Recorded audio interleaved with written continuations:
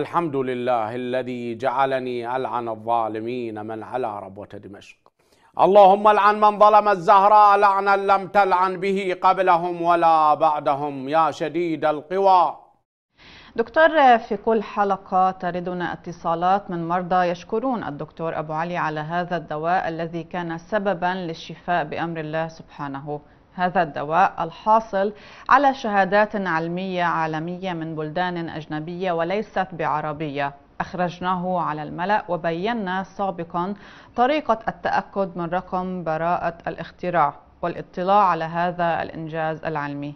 ومع ذلك يأتي شخص بدون دليل على قوله ولا برهان على ما يدعي ولا معرفة بشخص الدكتور ويقول للناس لا تشتروا هذا الدواء. ما الذي يحتاجه العالم العربي أكثر من هذه الأدلة الواضحة لكي يصدق هذا الإنجاز؟ الآن هذا الدواء نبيعه ب 400 دولار في الخارج. يقدر يباع بلبنان ب 400 الآن يشترونه اللبنانيين ب 400 يخابرون الشركة ب 400 لأنه صناعة كندا أو صناعة USA أو صناعة Germany أو صناعة England يشترونه لأن مجرد هذا. خوش كيف هذا؟ هذا خارج عن موافقة ال FDA منظمة الصحة العالمية نتيجة البراءات الاختراع. الأدوية كلها هاي الموجودة. شوف خوش أي دواء بالعالم اليوم سعره 10 دولارات 5 دولارات. إحنا هذا بيش خاصه السكري اللي هو فظيع جدا مرعب. يباع ب 400 دولار. علبة علبة ب 400 دولار. يلا حطوها إلي.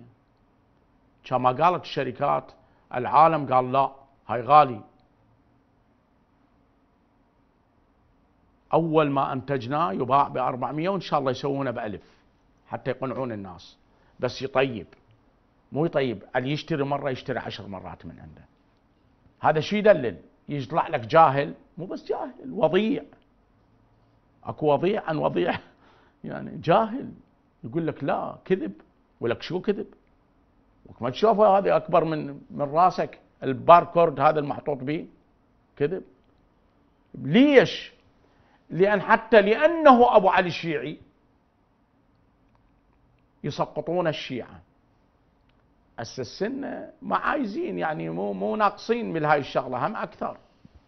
بس خوش أنا لو كان اسمني ديفيد لو شارون لو كوهين أه. الغرب ما قال. الغرب يقرأ اسمي وبعد شهر ثلاثة أشهر شوفوا البراءات الاختراع الجايه الجديده راح نطلعها وتهز الكون هز. نعم بناء على الدراسة المقدمة.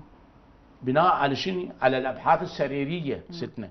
الجامعات تشترك بها والأبحاث العلمية ومن ضمن كل هاي آلاف اللي تقدم الناس. ليش يعطوني أنا وما يعطون الناس؟ نعم اسمح لي اخذ دكتور كما تفضلت لو كنت شخص غير عربي هل شككوا بما تقدمه أم أن صفة التشكيك أضحت ميزة عند العرب؟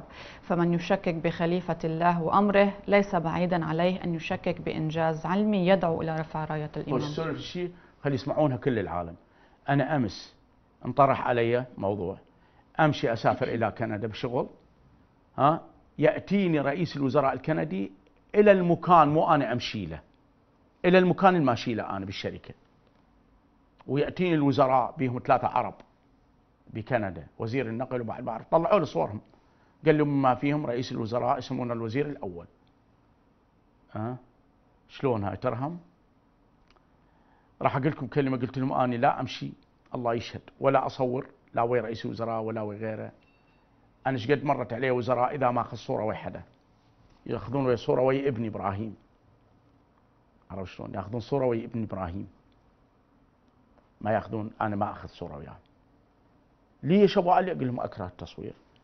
أنا ما أحب أصور ويا حدا.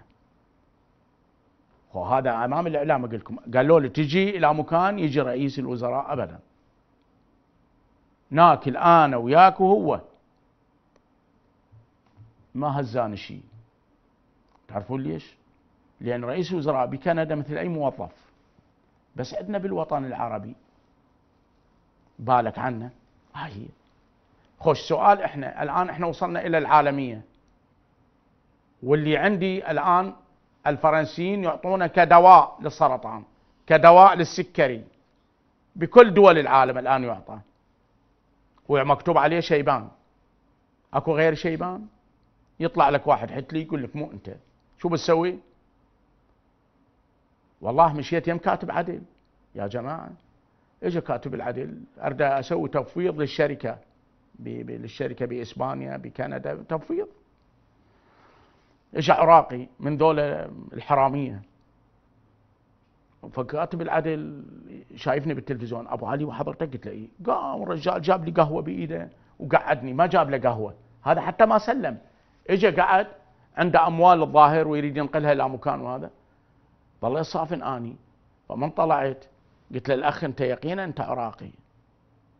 أو تنوع عليه هيك يقينا ما تعرفني. أقلها سلم. خوش هذا شام ريحة عنده كم فلس ويحتقر الناس. وإحنا والله من فضل الله ما نزلنا إلى مكان إذا ما الناس هيك تصير مثل خلية النحل علينا تاخذ صور ويانا وأنا أستحي. أعجبني. البروفيسور الفلاني. يقول أنا اللي رباني أبو شركة بورش. اسمعوا يا عراقيين. يقول إلى أن كبرت وصرت دكتور وصرت غيره وكنت صرت من أصحاب الأموال. ففي يوم من الأيام سألته صار كبير بالعمر. قلت له بروفيسور ليش من يجيك واحد من الموظفين تدنق يدنق ليش ما تحط قصتك بقصته؟ قال أخاف أن يخطأ فيخجل مني حتى لا أرى الخجل في عينه. ولكم هذا ما قارئ عن علي بن أبي طالب. أقسم بالله حيرني يقول قلت له ليش تدنق؟ قال خاف أن يخجل مني إذا خطأ. وأنا فلان الفلاني حتى لا أرى خجله. ولكم هذا يهودي. تقول لي إحنا مو سرسرية. دكتور بختام الحلقة شو بتحب توصل المشاهدين؟ إخوان نحن حينما نرى ظاهرة أو ظاهرة حتى ما يشكل علي أحد يقول يلحن حينما نرى ظاهرة من هذه الظواهر القبيحة نقول لكم ونسلط الضوء عليها. وحينما نرى ظاهرة تسر الخاطر والناظرين نسلط الضوء كذلك عليها. ولكن لماذا الغني إذا فعل فاحشة؟ قال الناس إنها معروف. وإذا فعل الفقير معروفا قالوا إنها فاحشة. هذا يدل على إننا لم نقرأ القرآن ولم نقيم وزنا لمحمد وعلي اللي لا يقام الوزن في السماوات والأرض إلا بوزن علي. إخوان من كان ظاهره يختلف عن باطنه منافق. ومن كان لا يخرج إلى الناس متواضعا دجال وكذاب كائن من يكون. ومن لا يسلم بيده على الناس يستنكف منهم. فليس هذا بمحمد من شيء.